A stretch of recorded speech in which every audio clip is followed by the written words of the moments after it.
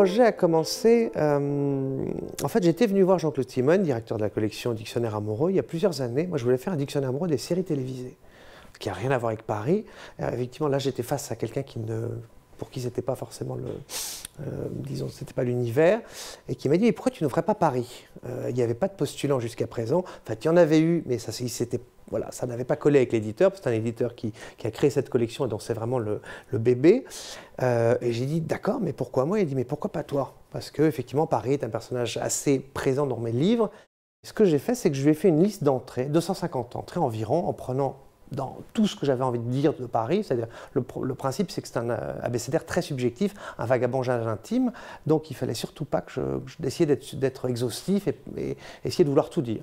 Donc j'ai fait une liste que je lui ai soumise, il m'a dit ok, et maintenant vas-y. Et euh, le vas-y m'a pris 4 ans. J'ai mis 4 ans, euh, voilà, pendant des années, à faire des recherches lorsque je ne savais pas, à aller chercher, à aller creuser, à aller vérifier, à aller revérifier, re-revérifier tout, pour donner, voilà, au bout de 4 ans, euh, euh, cet ensemble très intime, très personnel, où j'espère le lecteur apprend des choses sur Paris tout en en apprenant un tout petit peu sur moi. Mais bon, moi, je ne présente aucun intérêt, mais je sers de faire valoir, euh, disons, très intime et subjectif à cette ville qui a 2000 ans d'histoire.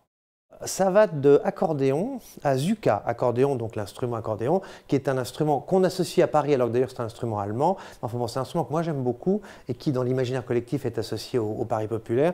Et Zuka, c'était André Zuka, qui était ce photographe qui avait travaillé pour les Allemands pendant l'occupation, qui a fait ces photos très connues en couleur du Paris sous l'occupation, qui étaient des photos de propagande assez étranges. On voit un Paris où les gens ont l'air heureux, il y a des femmes, il y a des femmes à Longchamp avec des lunettes noires, les Allemands font des grands sourires dans la rue. C'est des photos très étranges, mais qui m'ont toujours fasciné. Donc vraiment de A à Z, mais ça va. On, on parle de la Bièvre, on parle des catacombes, on parle de la campagne à Paris, on parle du Palais Royal.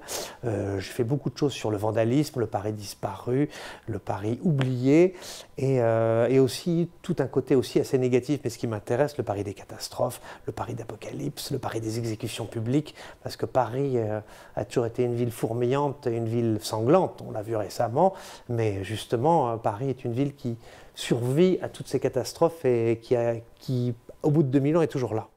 Ce qui est toujours surprenant, c'est de voir tout ce qui a disparu de Paris, quand même, de voir, certes, on a un empilement fascinant. Il y a deux villes comme ça au monde, Paris et Rome, où on voit vraiment la vue en coupe de 2000 ans d'histoire. Mais euh, Paris, ce qui est étonnant, c'est de voir ce qui, ce qui a disparu et ce qui est encore dans le tissu urbain de la ville. C'est-à-dire, c'est-à-dire Paris, c'est une succession de calques. C'est une succession de, de calques successifs qu'on voit les uns par-dessus les autres qui permettent de voir le Paris romain, le Paris médiéval, le Paris classique, le Paris du 19e, le Paris du 20e siècle et le Paris du 21e siècle. Et quand on voit cet empilement, pour moi c'est ça qui me surprend, c'est qu'on est vraiment dans une, comme une tranche napolitaine. C'est-à-dire que, tout en plus en pensant à ce qui est sous Paris, c'est-à-dire Paris est la seule ville au monde à avoir un réseau de carrières, un réseau de mines de pierres souterraines qu'on appelle les catacombes abusivement parce que les catacombes, c'en est qu'une petite partie. Mais il y a 180 km de galeries sous la rive gauche et beaucoup, beaucoup de galeries aussi sous la rive droite. C'est la seule ville à avoir une sorte de doublure, à avoir une sorte de fantôme, de, de, fausse ville en dessous, totalement vide, totalement calme, avec un silence extraordinaire, qui est par exemple un endroit où j'adore m'aventurer lorsque je trouve les bonnes personnes qui peuvent m'y emmener. Mais évidemment, c'est interdit. Interdit mais toléré, interdit mais fascinant.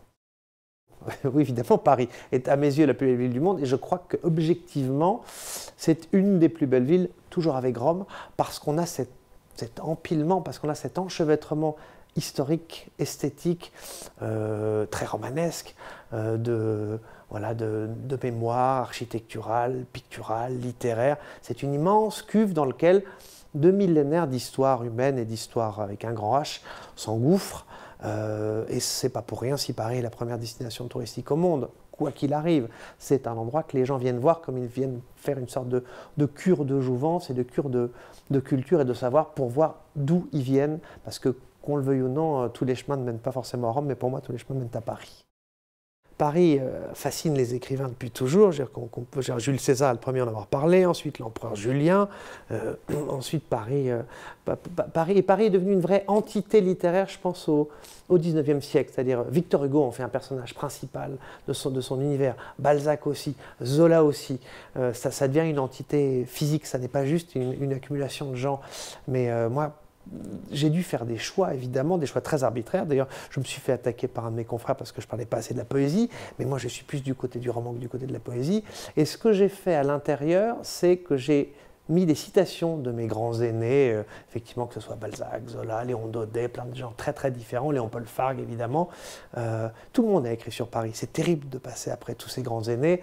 Euh, moi, parmi mes favoris, je mettrais Marcel Aimé, je mettrais André Ardelais, André qui est un poète que j'aime beaucoup, qui, qui a décrit un Paris qui me touche beaucoup, c'est-à-dire un Paris, un Paris des jardins cachés, un Paris mystérieux, un Paris souterrain, et un Paris où on imagine toujours une conspiration cachée derrière une porte d'immeuble.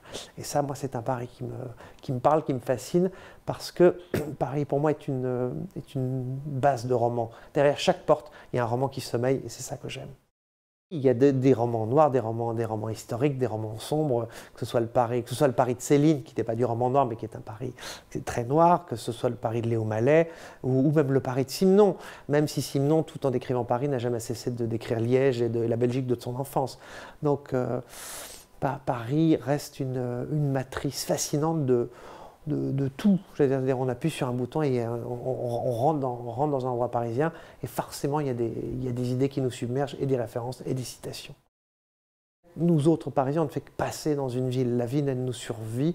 La, ville euh, est éternelle. Nous, je veux dire, on n'est que les dépositaires d'un lieu. On n'en sera jamais les propriétaires. Et heureusement, euh, la population parisienne, moi, j'aurais été plus intéressé de rencontrer la population parisienne d'il y a, disons par exemple, de l'entre-deux-guerres ou du début du XXe siècle, qui est une population beaucoup plus contrastée, mélangée avec des quartiers, avec des baronnies, avec les halles au centre de Paris. Donc c'était une ville qui vivait nuit et jour. Maintenant, Paris est une ville qui, se couche à 10h du soir et qui se lève à 6h du matin. Il n'y a, pas, de vraie vie nocturne dans Paris. Il n'y a pas cette espèce de, permanence du monde dans la rue. Euh, c'est une ville extrêmement calme, extrêmement douce. Le pari qu'on va laisser à nos enfants, euh, c'est-à-dire celui que nous allons laisser à nos enfants, est mieux que celui que nos parents, voire grands-parents, nous ont laissé. On a massacré Paris dans les années 50, 60, 70. Ensuite, on s'est calmé. Mais vraiment, on a détruit beaucoup, à mon avis, de façon beaucoup plus violente qu'Haussmann. On a, on a détruit dans les années 70 en, construisant toutes ces grandes tours, toutes ces tours Montparnasse, ces fronts de Seine, ces, ces, palais des congrès, la place des fêtes, le 14e, le 15e. On a, on il fallait loger les gens, mais on a utilisé un urbanisme sauvage, assez, qui pour moi est un urbanisme quasiment criminel. C'est ces grands clapiers verticaux, comme on, comme ensuite, comme on a construits en banlieue aussi, mais qui sont pour moi des sortes de, camps de concentration euh, en hauteur. Euh, voilà, c'est l'esthétique post-Le post Corbusier qui, a massacré l'esthétique d'une ville et, qui n'a jamais fait beaucoup de bien à ses habitants. Ce qu'on fait maintenant est beaucoup mieux. Par exemple, je cite toujours le quartier de l'avenue de France. Euh, à côté de la grande bibliothèque, toutes ces nouvelles rues, la rue René Goscinny, le jardin Georges Duhamel et tout ça, c'est un quartier qui a vraiment de la transparence, il y a du vert, il y a de la verdure, il y a vraiment une, harmonie entre, entre, entre, la matière et le végétal, entre le minéral et le végétal. Et maintenant, on est beaucoup plus soucieux de ce genre de choses, alors qu'avant, c'était le béton, le béton, le béton. Et on a beaucoup, beaucoup, beaucoup abîmé Paris. Et je pense que ce qu'on va appeler le Grand Paris me fait moins peur que, que les projets délirants de Pompidou, qui heureusement est mort à temps, sinon il, est, il, il aura, nous aura vraiment massacré la ville en nous couvrant de canal Saint-Martin pour nous faire une voie express qui, qui serait de la porte de la Villette à la porte d'Italie, les projets étaient assez délirants. Maintenant, on est quand même plus soucieux. C'est-à-dire que les années Giscard et les années Mitterrand ont, transformé, ont un peu muséifié Paris, mais au moins euh, on, a, on, a, figé ce qui pouvait encore l'être sans non plus l'anesthésier ou la tuer.